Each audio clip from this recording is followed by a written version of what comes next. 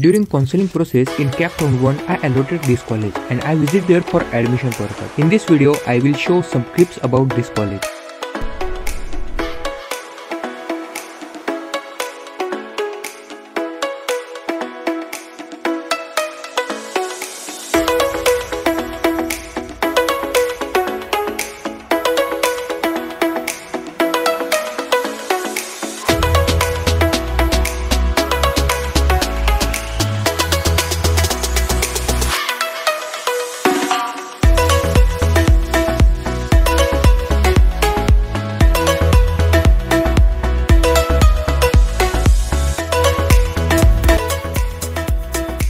If you like this video, subscribe to my channel and hit the bell icon button.